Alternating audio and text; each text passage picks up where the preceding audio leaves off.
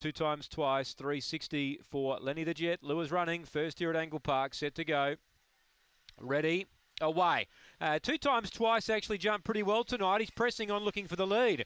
Hunker Papa tried to keep it out but can't. So two times twice found the lead. It should be over now. He dashes three or four clear. In second, surfing Dino. Hunker Papa making ground. Lenny the Jet shuffled out of it there now. Surfing Dino. It copped a bad check. Slippers away. Ran to midfield. Then Coco Spectre. Narimba Pirate Prophetess. But up to the bend two times twice. Well, if he knew he was going to find the lead, it was curtains for the rest. He draws rights away and wins by by five. Lenny the Jet second, Hunker to Papa third, fourth Narimba Pirate. Uh, then Coco Spectre slippers away, and Prophetess beat one in. That was Surfing Dino, who's failed to complete the course.